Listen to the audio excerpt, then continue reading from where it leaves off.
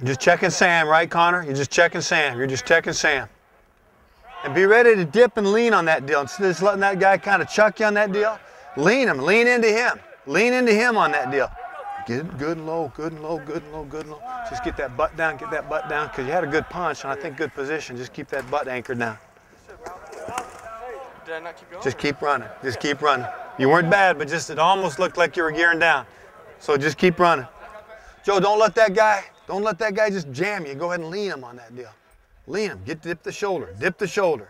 Having Coach Locey back is uh, is great. He brings a lot of energy to the tight end position, and uh, he he acts like he's 20 years old, like he's one of us. You know, just running out there and having a lot of fun and acting, you know, like he's a kid again. But you know, he's he's a great coach and he's very knowledgeable and helps us with a lot of things.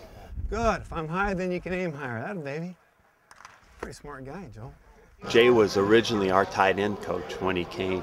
That's the beauty of Jay Locey. He could he could coach on defense if we needed him to. He's just a very good all-around football coach. Has been a head coach, and the way this turned out, you know, we needed his flexibility and versatility in order to make this move. Bucket step, bucket step, bucket step. Sprint cutoff. And Joe's going to cover you. Okay? We got to get our hat in front. You know what I mean? We got to cut him off. We got to cut him off. It's kind of fun to have uh, guys that uh, Joe Halahuni and Colby Prince were were involved with me the the first stop and uh, a couple of new additions, which are Tyler Perry and and Connor Hamlett. So it's it's good. It's been a good been a good group. Hard-working guys. You get that punch, and then you'll just stop him, and then he's got to restart it. Right, right. Get that good punch on that thing. Really, tight end is uh, more offensive line oriented, and so we've got to block if we're going to be effective as a running game. We got to be a be very effective blockers. Good, good, good, good, good.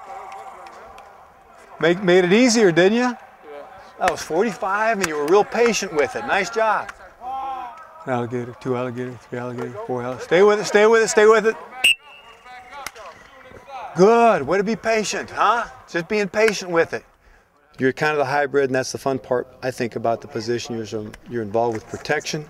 Stay with it, stay with it, stay with it, stay with it, stay with it, stay with it. Good, good, Cole. You're involved with uh, the running game. Now just come up and boom, go get it, okay? Just take what shows. You're on the right path. Take that path, take that path, and just take what shows, but go get it. Go get it. And you're involved with the passing game, so that's kind of the fun part. You're involved with everything. And if you remember hearing Danny, what did he say? Talk off about being patient release and then a little bit of speed, build up a little speed. First. Right idea, Connor? Good? Good? And then just that you're underneath Danny, right? You'll be underneath Danny like you were. Yeah, well done.